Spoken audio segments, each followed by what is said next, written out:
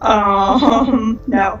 That's so sad. Uh, I feel like I can. Um, I don't know. no. No. No. No. No. Uh, if it was multiple choice, maybe. Can't. I was gonna say Indian, but that would uh, that's apparently that's not correct. Is is Hindu one?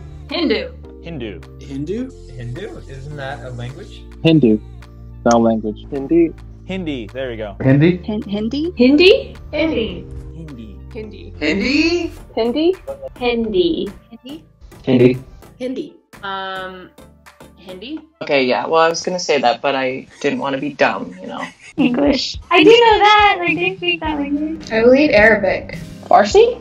Um, Nepali? Um, Farsi. It's Iranian. So it's yeah. so to answer your original question, then probably no. Is Farsi Indian? Punjabi? Isn't that a language? Yes. Nice. Punjabi. Yes. Punjabi. Punjabi?